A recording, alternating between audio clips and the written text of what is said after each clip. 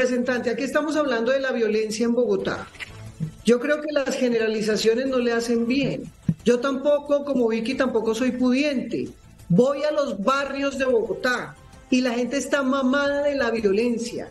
Y por supuesto que el corazón de la violencia y de la delincuencia, de las FARC, del ELN, de los paramilitares, de esas bandas criminales, es el narcotráfico, que utilizan a los jóvenes.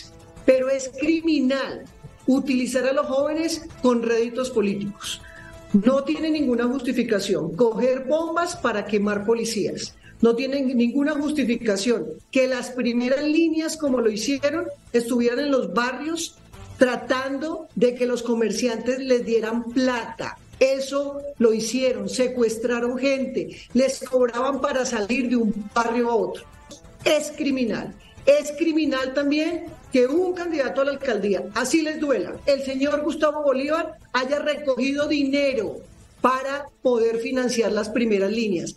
Esas primeras líneas que destrozaron la ciudad, que afectaron ciudadanos de carne y hueso del estrato 1, 2 y 3. Ninguna élites que tampoco que tendrían justificación.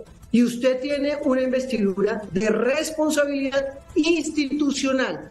Aquí ningún congresista de Colombia puede llamar a reivindicar que estén utilizando el uso de las bombas incendiarias para amedrentar porque es lo mismo que hicieron los paramilitares en su época y es lo mismo que están haciendo los de las bandas criminales para que apoyen candidatos en las diferentes regiones. En Bogotá no les va a funcionar. Y debe ser, debemos condenar todo lo que sea violento.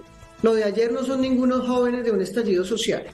Eran jóvenes de la primera línea financiados por las FARC que tiraron piedras. Una piedra, usted puede decir, no pasa nada con una piedra, no, matan personas. El cablecito que le pusieron al joven en la localidad de Kennedy que mató a un ingeniero.